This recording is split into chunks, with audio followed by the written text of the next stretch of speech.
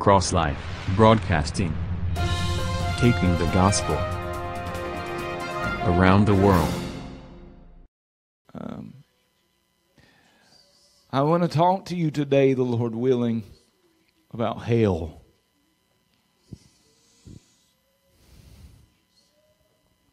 I feel His presence. Because in our postmodern world, there's a lot of problems that man has because his sensibilities are offended at the thought that we that an, a finite amount of sin can lead to an infinite damnation. This offense offense of sensibilities has led theologians to try to come up with all sorts of solutions to the problem. These solutions are there are many today that are even saying that there is no hell. There are some that are saying that hell is real, but it's only a temporary thing. And there are different views within that. That some would say that it's a purgatory that you go to for a period of time and pay for your sins, and then you get to go to heaven. And others believe in universalism that all men will eventually be saved. And then there are those that believe in annihilation, that do not believe in a permanent, eternal suffering in hell, but they believe that we will be burnt up and just cease to exist the real problem, the problem with these solutions is we have started with the offended sensibilities of carnal man and trying to bend the word of God to be more uh, to be more palatable to our offended sensibilities when really the truth is we should realize that carnal fallen man will always be offended at the truth and that we should fight it from Scripture alone. Now, some preachers, and I don't preach on it all the time, for this reason, think that it's wrong to preach on hell because we think that we're trying to just bow, browbeat or scare people into salvation. The critique is that scaring somebody to salvation creates a false conversion. But can I tell you that there are just as many false conversions from a seeker friendly gospel as there are from a gospel telling the truth about hell? But the fact is, I'm not here to try to scare you this morning, but Jude says in 1 22 and 23, and of some have compassion making a difference, and others save with fear, pulling them out of the fire hating even the garments spotted by flesh.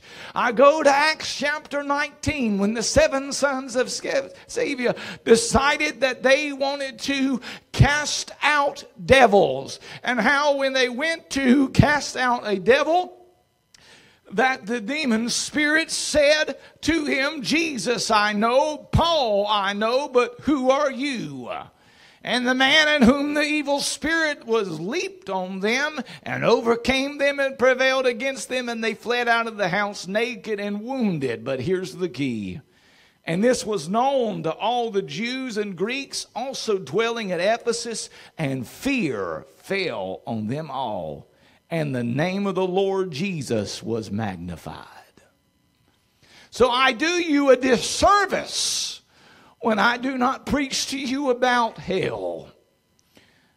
My job is not to scare you, however, this morning it's to persuade you of Christ, to persuade you of eternal life, juxtaposed against the opposite. Part of the confusion and the different doctrines of hell come from a problem within the King James Version, where no, even though there are different words employed in the original language, the King James translates them all as the same word as hell. But we have in the Hebrew a word of Sheol. Sheol is the abode of the dead. It is a subterranean pit the inhabitants are prisoners and inmates. It is also used on occasion to talk about the grave. But the problem is there are different levels of Sheol. There is the grave and there are different depths and levels that go even deeper. The psalmist says in 86:13 that you have delivered my soul from the lowest part of Sheol. Now another word that Jesus uses is Gehenna. This, and we'll talk about this in a moment, is the valley of Hinnom, where filth and rubbish was burned continually, and Christ uses it as an example of hell. Then we have the Greek, another Greek word, which is the equivalent to Sheol, and it's Hades.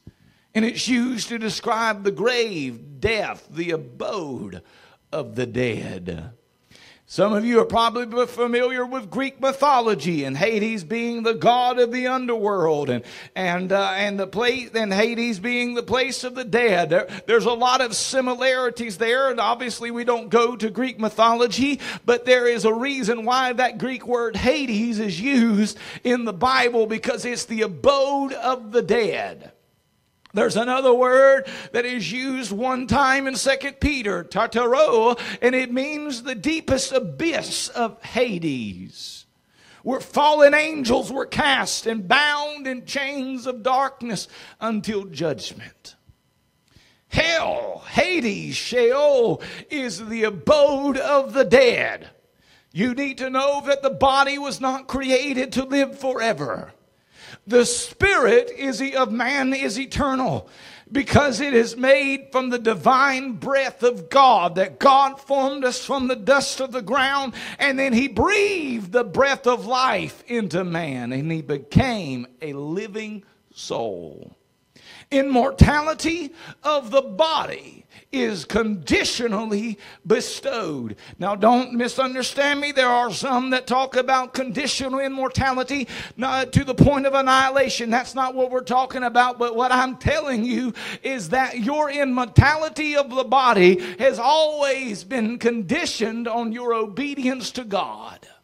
God formed man in the Garden of Eden and he gave him the tree of life that by the eating of the tree of life, eating of the fruit of the tree of life, man could live forever.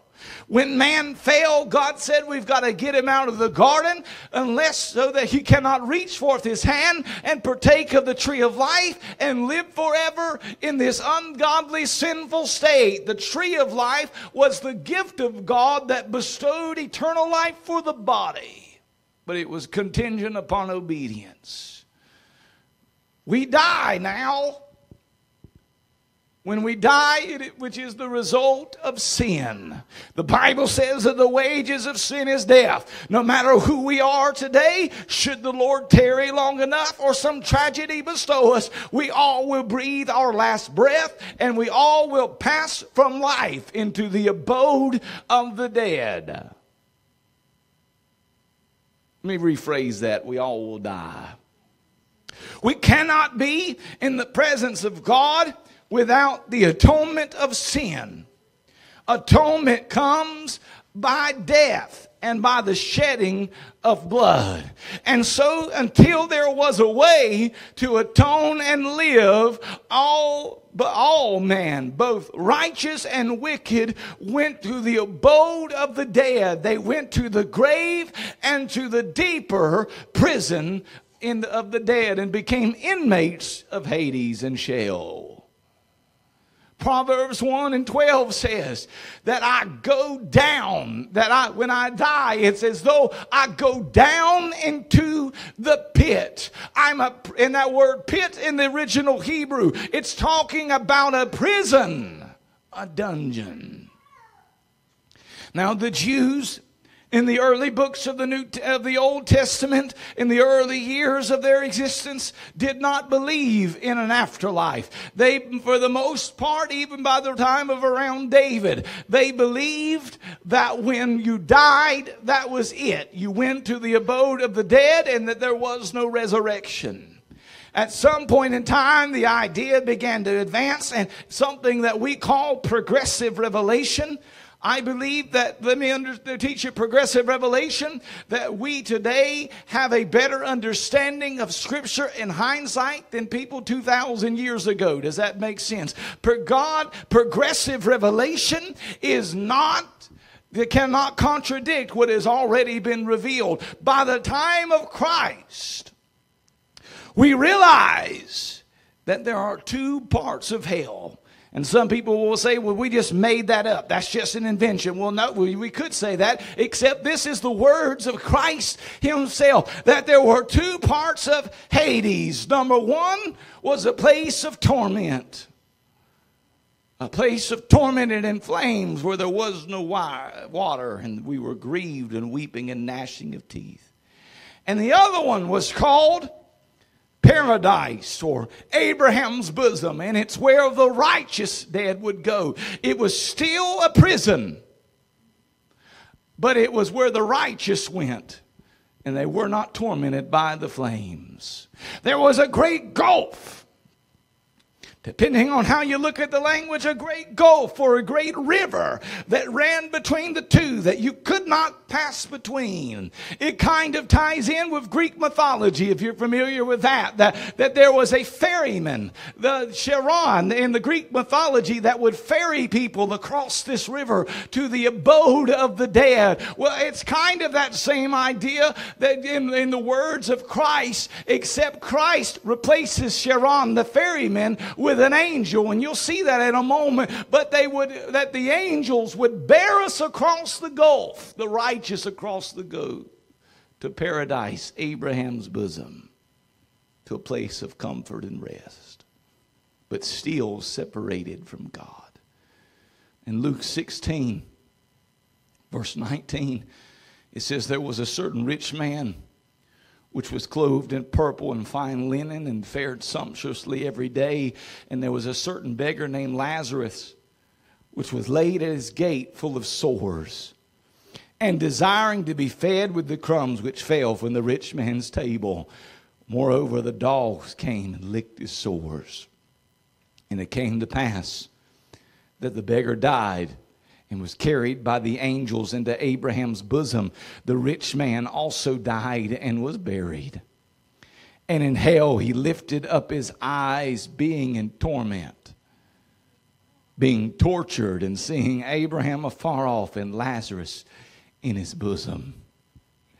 But Abraham, and he cried and said, Father Abraham, have mercy on me and send Lazarus that he may dip the tip of his finger in water and cool my tongue, for I am tormented in this flame. But Abraham said, Son, remember that thou in thy lifetime receiveth not thy good things, receiveth thy good things, and likewise eat Lazarus evil things. But now he is comforted, and thou art tormented. And beside all this, between us and you, there is a great gulf fix, so that they which would pass from hence to you cannot, neither can they pass to us, but they would come from thence. Then he said, I pray thee, therefore, Father, that thou wouldest send him to my father's house, where I have had brethren, that he may testify unto them, lest they also come to this place of torment. And Abraham said unto him, Thou hast Moses and the prophets, let them hear them. And he said, Nay, Father Abraham, but if one went unto them from the dead, they will repent. And he said unto him, If they hear not Moses and the prophets, neither will they be persuaded, though one rose from the dead. So the words of Christ, which bear greater authority than any other theory of man, when Christ came, he died on the cross. He shed his blood and paid with his life, paid for the atonement of our sins. He went down, he descended both into the grave and to the deeper abode of the dead. He went to Abraham's bosom. He went to paradise. He did not burn in hell, as some teach. That's a heresy. But he went to paradise, Abraham's bosom. And on the third day, what happened? He rose again. And he rose with the keys of the abode of the dead and death itself. He became the first fruits of them which sleep in Christ. So that because Jesus, the same Spirit that rose Jesus from the dead, will one that lives on the inside of you and I, will one day raise us up from the dead. We can be sure of that. Now, hopefully, very soon before we go by the grave, the trump of God will sound and the dead will rise first. And then we which are alive and remain shall be called up to meet the Lord in the air. But isn't it a comforting thing to know that if I go by the grave, that one day ain't no grave gonna hold that body down and the grave and the body will come up. Abraham's bosom is empty today. Christ led those that were captive to freedom. He led captivity captive. O grave, where is thy sting? O death, where is thy victory?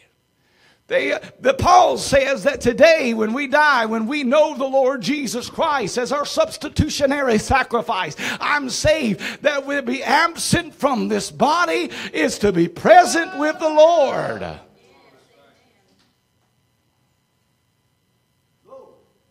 That's only for those that have had their sins washed by the blood of Jesus.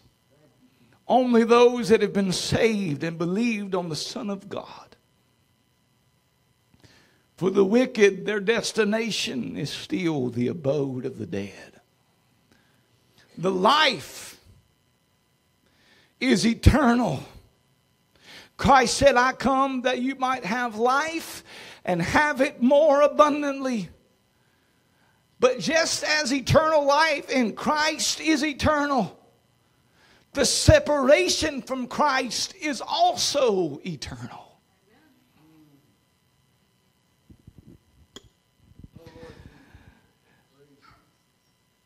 If I could pay for my sins by burning in hell for a thousand years and then go to heaven, if I could do it that way, there was no point for Christ to come.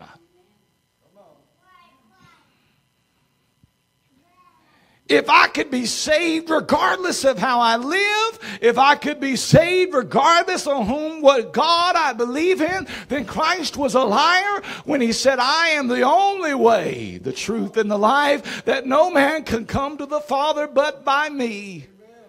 But just as life in Christ is eternal, death unto sin unto death is also eternal. But can I tell you, and I don't want to confuse you, hang on to this Sheol and Hades are a temporary place.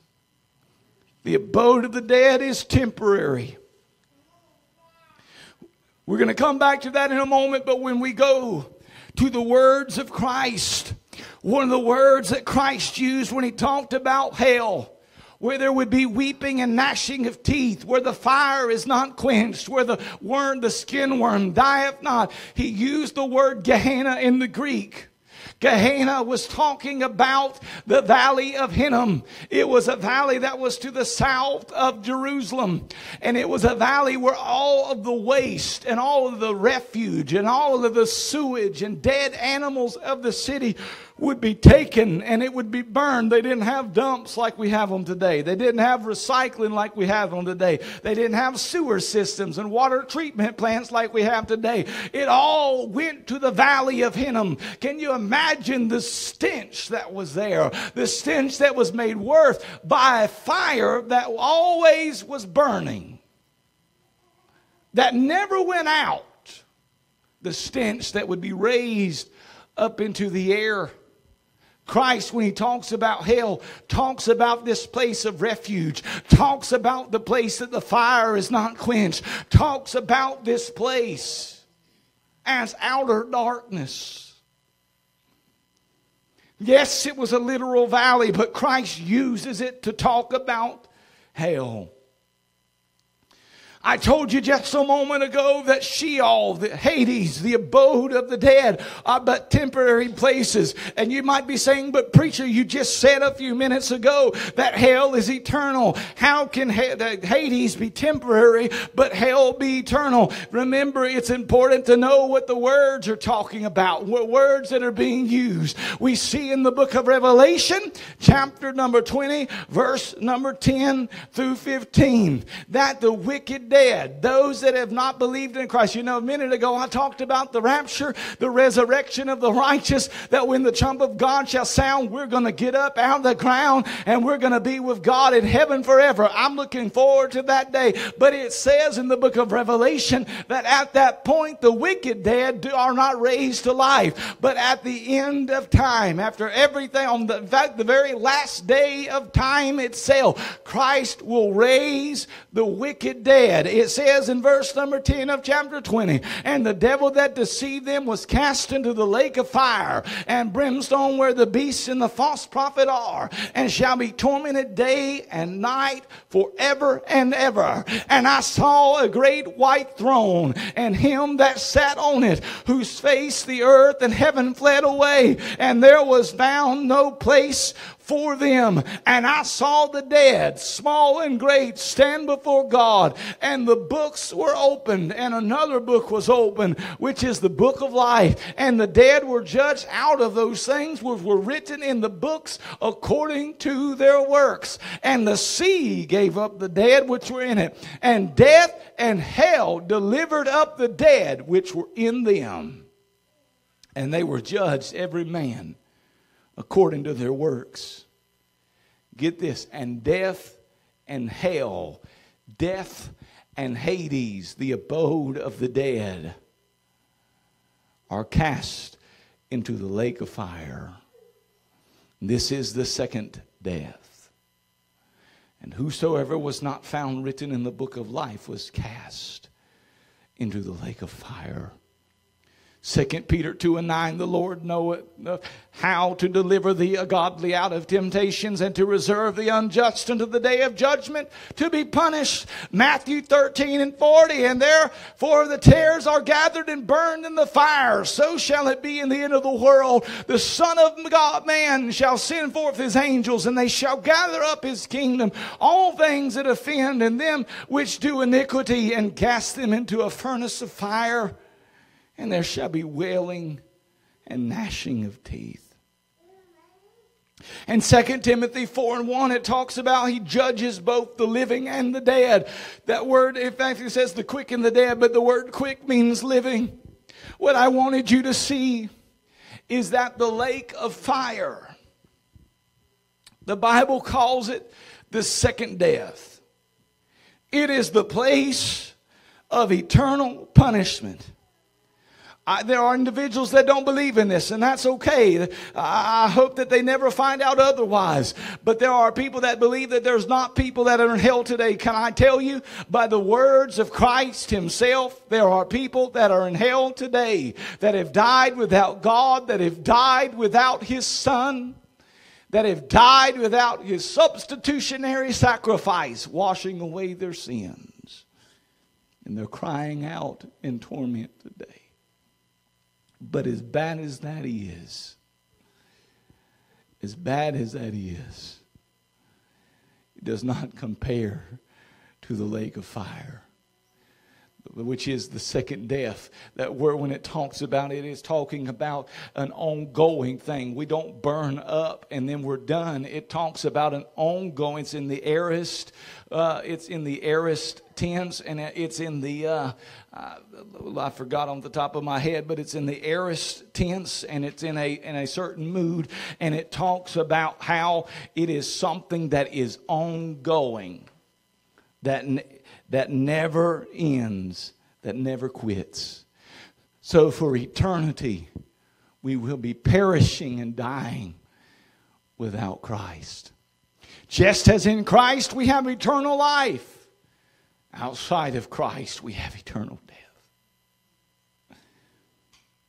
Jesus says something that we quote a lot that on this rock he's going to build his church and the gates of hell shall not prevail against it. I want to take you now to where that took place, to Caesarea Philippi. Right outside of Caesarea Philippi, Christ is with his disciples. They've come back from ministering and preaching the gospel of the kingdom. And he says, Who do the people say that I am? Some people say you're John the Baptist. Some say you're Isaiah. Some say that you are uh, that you are Elijah. Some say these things, and Jesus says, "Well, who do you say that I am?" And Peter says, "I believe you're the Son of God, the Christ, the one sent of God to vanquish sin. You're the Messiah." And Jesus, we believe it was the confession he was talking about, said Simon Barjona. Simon, flesh and blood has not revealed this to you, but my Father in heaven. Did you know that you can't be saved unless the Father draw you to him? And you can't come to the Father but through Jesus. He said, Upon this rock I will build my church, upon this confession you're the Christ. Alan, if you can do something for me, I know that I'm getting ready to probably run out of tape on the camera. If you on the live stream software will hit stop, start recording. Not stop, start recording. In the area of Caesarea Philippi, there was a great wall, cliffside that had the mouth of a cave. It's still there. Out of the mouth of the cave, there used to be a spring of still water that would run out from the cave and feed the, the pools that would be used for the idol worship. Literally, that cave, which an earthquake has collapsed it in a large portion today, but that cave back then was called the jaws of death the gates of hell. And carved into the side of this, there was a great temple complex for this worship. Carved into the side in different niches uh, was little alcoves, and there were wooden, wooden statues of the god Pan. And the god Pan was the, the in Greek mythology was the god of the shepherds. And so this half goat, half man individual that played the flute was there, and the God of the shepherds, this idol worship at the gates of hell, carved into a large cliffside rock. That it was in that area. Perhaps Jesus, we don't know for sure, but perhaps Jesus was looking at it and pointed to it when he said, Upon this rock I will build my church. And the gates of hell, the jaws of death will not prevail against it.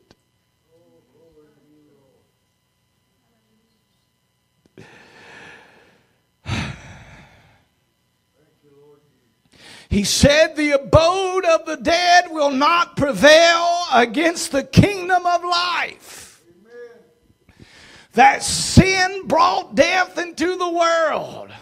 But by the death of Christ, sin was paid for, and we have life and life more abundantly. When you belong to Christ, you belong to a kingdom of life that death and hell cannot touch and cannot conquer. Amen. The kingdom of life. Sin Death itself was defeated by Christ.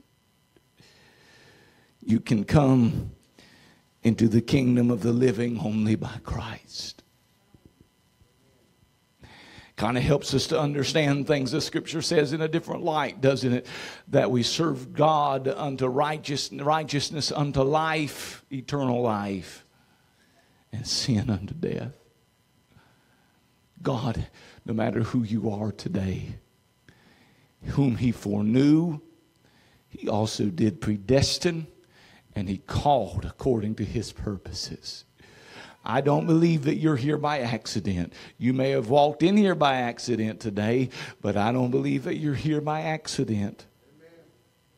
I believe that God called you, ordained you. He foreknew you. He before you were even a thought in your father and mother's minds, God knew you. He has a place for you in his kingdom. He wants to call you out of the abode of the dead and bring you into the kingdom of the living. See, it's not just about us escaping the fires of hell. And a couple of weeks ago, maybe even last week, they sang a special. I escaped that awful place when Jesus saved my soul. Not one hair upon my head to that place will go. And I don't have to worry for the Savior took my part. The only fire I'll ever feel is burning in my heart. Listen, I don't want you to get saved just because you don't want to burn in hell, but you need to know that I want you to get saved because you want to be a part of the kingdom of life, because you want to be brought into the fullness of what God has for you. But you have to know that if I do not serve the Lord, if I do not obey Him, if I do not hearken unto His word and obey His will, that Christ cannot deliver us from the abode of the dead. He has provided one way and one way alone of escape. And it's a way of life, it's a way of righteousness. Can't just say, God, get me out of hell and then let me live any way that I want to live. That when you're saved and He gives you the Holy Spirit, that it will be evidenced by the works in your life. If someone could come to the piano, please.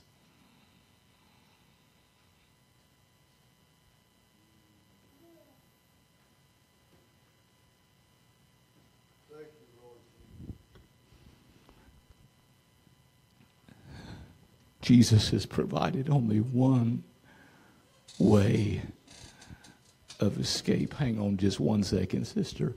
One way. I am the way, the truth, and the life, he said. I can't. There, there's an old story of Pilgrim's Progress of individuals that were on their way to heaven and they took a shortcut.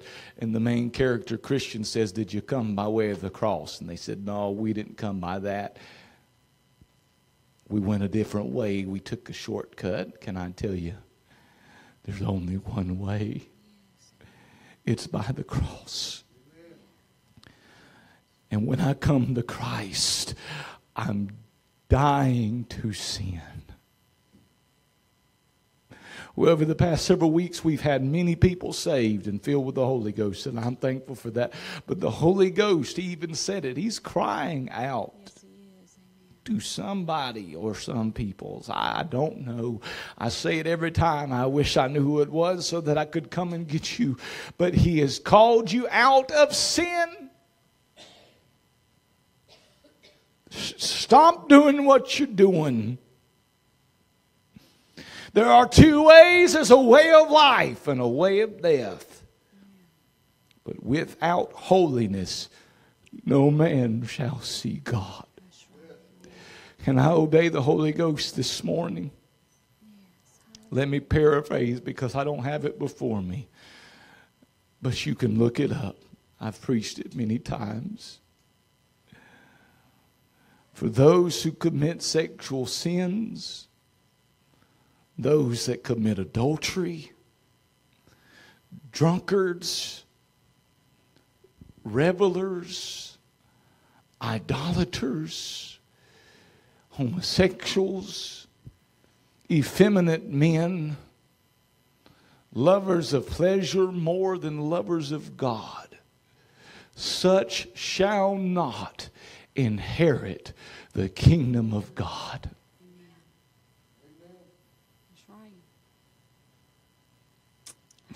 If you're doing those things, I'm telling you right now,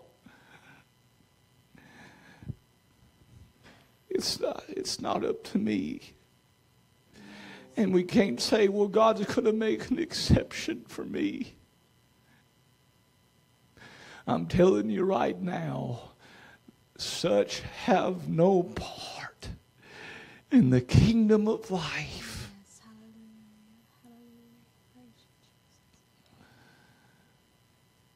But if you believe in Him, if you'll come forward and die to your sins today, you can leave singing, I escaped that awful place when Jesus saved my soul. Not one hair upon my head to that place will go. And I don't have to worry for the Savior took my part. The only fire I'll ever feel is burning in my heart. Sister Dusky, play softly. Listen, I've done all I can do today. I pre- I even ended up preaching this message in a different way than I intended. Because I feel the grief of God. I feel the unction of the Holy Ghost.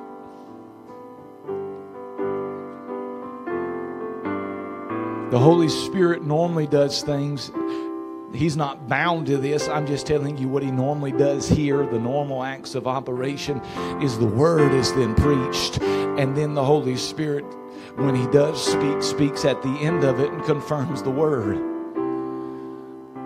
But this message today was of such importance.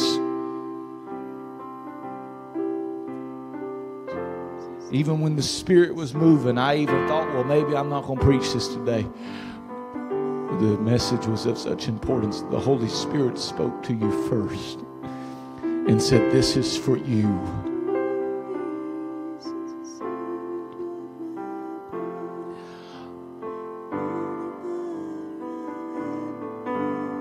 I know that by doing it this way, it makes it more difficult.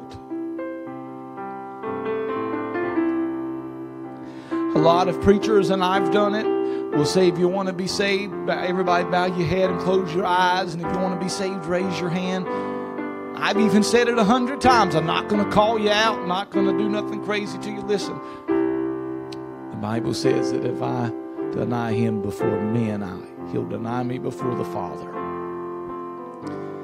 If we're not ready to publicly proclaim the Lord Jesus Christ, we're not ready to believe in Him and be saved. So I'm going to ask you to do something as we stand all over the house. If the Lord has spoken to you today, the Holy Spirit has tugged on your heart, please don't break the heart of this preacher. But more importantly, don't break the heart of God. Please, would you respond? and come forward because there's nobody here that's going to think bad of you. And if they do, they're the ones that need to be up here too. But we're a family, we're the body of Christ. We're going to rejoice with you. Whether you're being saved for the first time or you need to rededicate your heart to the Lord. I'm not talking about you making a mistake and, and, and, you don't lose your salvation because you make a mistake. I'm not talking about that. But you know right now in your heart the Spirit's bearing witness with you. Whether if you died today, whether you'd go to the kingdom of the living or to the abode of the dead, you know that. And it's manifested by the works in your life. If you need somebody to come forward, go with you, you take them by the hand and they'll come with you to the altar. Would you please come? I'm going to pray. I refuse to believe that this message was in vain today. Ultimately, it's not the words of this preacher, but it's the cries of the Holy Ghost that you reject when you do not respond. If you came forward at the beginning of the service and prayed in the altar, then that's fine. Come up here and, and come up here again because I want to pray with you. I want to know that. But I'm going to pray, and would you come right now? In Jesus' name, come, come. Father, in Jesus' name I pray. I've done everything that I can do, oh God. I've preached your word to the best that I can preach it. God, you said, with some have compassion, with some with fear, pull them out of the fires of hell. God, unto salvation, Lord, that there not one of us here today leave this place bound for that abode of the death. For those in Christ have prevailed. Would you please, Lord? set at liberty, God, their feet to move. God, I, I don't know if I I don't know if I believe in the doctrine of uh, uh, of irresistible grace or not, God, but please, Lord Jesus, if it be true, Lord, convict somebody's heart to the point that they cannot resist. Whom you did foreknow You did predestine. God, that scripture's in my heart, Lord. For whom you did foreknow, you did predestinate and call according unto your purposes. Not for the purpose.